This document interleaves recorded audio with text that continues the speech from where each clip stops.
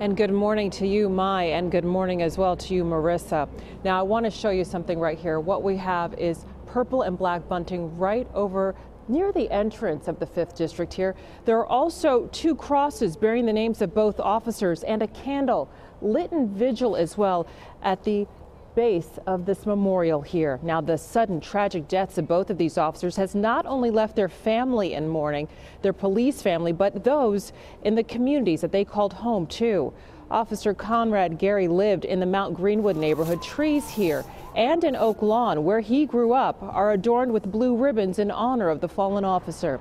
The 31 year old husband and father was an officer in the 5th District and had been on the force for 18 months. He, had a fellow, he and a fellow officer were killed by a train when pursuing a suspect. Family friend Kristen Turek told us by phone Gary's lifelong dream was to become a Chicago police officer. Conrad, out of all of us, is probably always the most mature. He was always motivated in school and stayed focused on, on his task, and he, he always wanted to be a cop. So that's what he ultimately ended up doing. Black and blue ribbons adorn the trees on the block Chicago police officer Eduardo Marmolejo called home in Beverly. A steady stream of well-wishers arrive at his house in Beverly to pay their respects. Marmolejo had been with the department since 2016.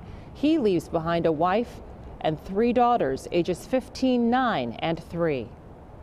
His children play with my children. Uh, great individual. Huge loss to this community. Funeral arrangements are pending for both officers. We're live at the 5th District in the Pullman neighborhood. Suzanne LeMignot, CBS 2 News.